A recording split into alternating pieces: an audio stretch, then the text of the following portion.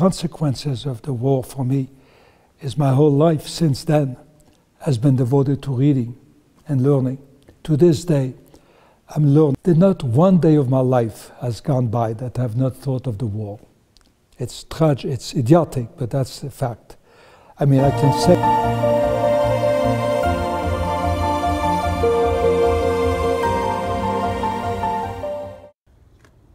Any specific laws that were passed to make it difficult for Jewish children to get an education? Well, again, the Germans are very, the Nazis were very clever. And they knew, they worried about German opposition, of the German people, the non-Jews in Germany. And so, uh, one of the first things they did uh, in order to reduce the number of uh, Jewish children in schools was to, to point out overcrowding. They set up a figure, all right, in the classrooms or in a particular school, and that maybe the school could accommodate 300, 400 students, and oh, but we're getting above that level. That affects the quality of education of all the other students. We've got to reduce the number of students. So who did you eliminate? The Jews. All right. So it started on that, in that way. Uh, so some Jews, for the first couple of years of the Nazi regime, January 1933 is when it gets into power, uh, some Jews were able to continue their education. By 37, or maybe it was 38, they are outlawed completely from the schools. Uh, well, the, one of the first things the Nazi state did was to take over education. They knew that's one thing they had to do. They wanted to train a new generation of young people who would think like they did. Um, in your opinion, do you think that Germany's population overlooked the removal of Jews from school because of the gradual implication?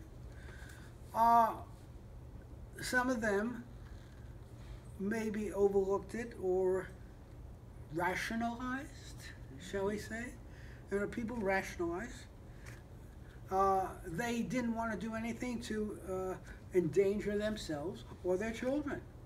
They wanted their children, the non-Jews, to be able to attend the schools, to get a good education and the like. But the Nazis looked upon education as indoctrination. All right, now, all societies indoctrinate the children in schools to a certain extent. The schools are a major place to do it.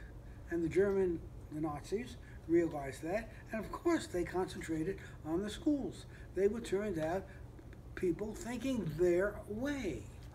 They didn't want people to doubt.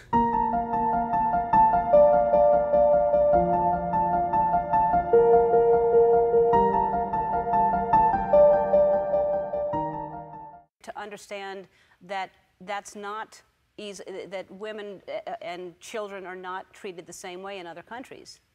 Well, um, I see children having uh, this quality education, having all the facilities, classroom, science labs, but unfortunately around this world there are countries where children do not even have desks to, to sit and they do not even have chairs, do, some do not even have teachers in their schools and some do not even have schools at all.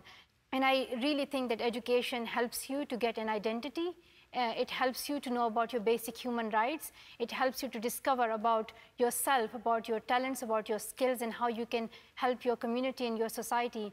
So I did not want to, to, to be deprived of that, of that opportunity myself, and I want this for every child, that no child should be deprived of the basic human right of education.